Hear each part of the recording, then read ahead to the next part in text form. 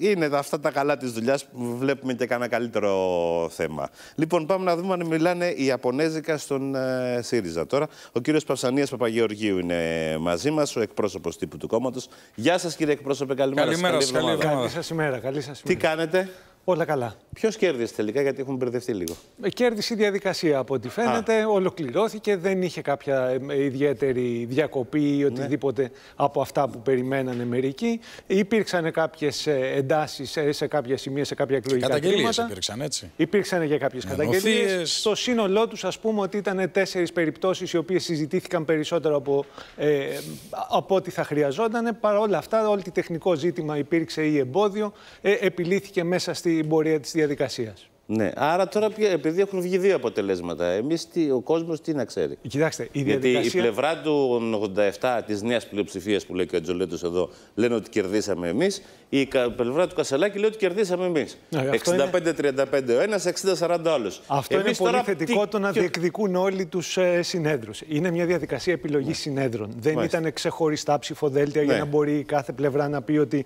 το δικό μου το ψηφοδέλτιο ή η λίστα μου πήρε τόσο. Επιλέχθηκαν πρόσωπα. Τα πρόσωπα αυτά θα εκπροσωπήσουν ε, τα μέλη και της ΣΟΜ στο συνέδριο και εκεί. Ή θα αποφανθούν, ή θα ψηφίσουν, ή θα επικυρώσουν κάποιες αποφάσεις. Άρα είναι ελεύθερα μέλη τα οποία έχουν εκλεγεί σύνεδροι και σίγουρα οι απόψεις τους συγκλίνουν με τη μία ή με Άρα την μέχρι άλλη το άποψη. συνέδριο, κύριε Παπαγεωργίου, δεν μπορούμε να ξέρουμε τους συσχετισμούς που υπάρχουν αυτή τη στιγμή στο ΣΥΡΙΖΑ. Μπορεί να τους υπολογίσει. Δηλαδή, το αν είναι κάθε κόμμα. περισσότερα, περισσότεροι σύνεδροι της πλειοψηφίας ή αν είναι περισσότεροι σύνεδροι που ενδεχομένως να στήριζαν τις απόψεις του κυρίου Κασελάκη. Επειδή θα τεθούν θέματα σε ψηφοφορία όμως στο συνέδριο, μόνο εκεί θα μάθουμε. Η κάθε πλευρά, το κάθε κομμάτι εσωκομματικά που εκπροσωπεί κάποιους ή θέλει να καταθέσει μια συγκεκριμένη ατζέντα, μπορεί να υπολογίσει ότι από όσους βρίσκεται σε επαφή, οι τόσοι έχουν εκλεγεί και βρίσκονται κοντά στη δική της άποψης. Παρ' όλα αυτά, Ε, ένας από το τους δύο λέει ξαναλέμε. ψέματα. Το ξαναλέμε. Δεν δεν βγαίνει. Υπάρχει, δηλαδή, υπάρχει σας ακούω. η ελπίδα προσεκτικά. της Ναι. διεκδικησης Μισό όσο λεπτό, το να τα πούμε. δυνατόν μεγαλύτερης στα- πλειοψηφίας. Βάλτε μια Αμέσως ανωτελεία, μετά, γιατί αμέσως δεν μπορεί να είναι αλήθεια. Και δύο δεν γίνεται. Σίγουρα αυτός που λέει αλήθεια αυτή τη στιγμή είμαι εγώ. εκτός αν υπάρχει κανένας που είπε, εγώ παιδιά είμαι μαζί σας στο 87, παιδιά εγώ μαζί σας και στον Κασελάκη. Κοιτάξτε, Εκεί θα αρχίζει γίνει- δεν δεν μπορεί να μπορείς να τα το βρεις. πράγματα. ε- Θα τα θα πούμε είναι μετά. Μισό διάλογος, λεπτό Θα για να είναι μην- διάλογος, οπότε θα για να μην καταθέσετε σας απόψεις. διακόψω. Λοιπόν, για να υπενθυμίσω. Λοιπόν, εδώ είμαστε, επιστρέψαμε με τον κύριο Παπαγεωργίου. Επομένως, οδηγούμαστε σε ένα συνέδριο χωρίς να ξέρουμε πια τις ε, ισορροπίες, ε, κύριε Παπαγεωργίου, που δεν πρόκειται να συζητηθεί καθόλου η υποψηφιότητα Κασελάκη παρά τα όσα ο ίδιος διατείνεται.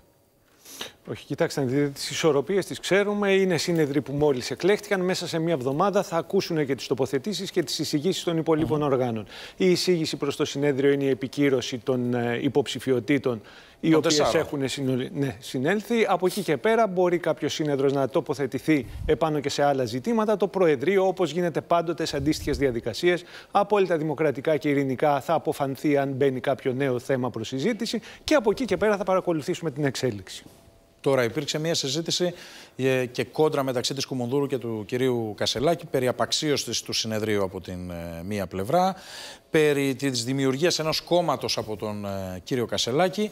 Τι από τα δύο α, ισχύει κύριε Παπαγεωργίου, κυρίως για τους ψηφοφόρους του ΣΥΡΙΖΑ. Ε, Φαίνεται ότι οι ψηφοφόροι του ΣΥΡΙΖΑ γνωρίζουν ότι ο ΣΥΡΙΖΑ αυτή τη στιγμή είναι ένας και οδεύει προς συνέδριο. Και γι' αυτό προσήλθανε κιόλας στη ΣΟΜ, εξέλεξαν όλα τα μέλη των συνέδρων και θα έρθουν και στη διαδικασία του Σαββατοκύριακου. Από εκεί και πέρα, εάν στρατηγικά ακούγονται κάποια πράγματα τα οποία φεύγουν είτε από Ακούστηκαν την όμως, πραγματικότητα. έτσι. ναι, ναι, ναι. Και από τον ίδιο τον κύριο Κασελάκη. Πραγματικά ακούστηκαν. Δεν νομίζω όμως ότι πρέπει εμείς να τα εγκολπώσουμε πάνω στη ρητορική του ΣΥΡΙΖΑ. Τα ακούμε, φέρνουμε μία άποψη επάνω σε αυτά και τα οδηγούμε σε μία συγκεκριμένη κριτική. Αλλά εάν φεύγουν από τα όρια του ΣΥΡΙΖΑ, νομίζω ότι δεν είναι ιδέουσα χρονική στιγμή για να συζητηθούν. Πολύ σύντομα θα βρισκόμαστε στο χώρο του συνεδρίου και εκεί οποιαδήποτε άποψη μπορεί να ακουστεί. Εκτιμάτε ότι μπορεί να υπάρξει μια νέα διάσπαση στον ε, ΣΥΡΙΖΑ και να αποχωρήσουν στελέχη; Θα Και βουλευτές. ήταν, θα ήταν λάθος να υπάρχει εκτίμηση για διάσπαση. Αυτό το οποίο μπορεί να προκύψει από ένα συνέδριο είναι μια καινούρια ημέρα.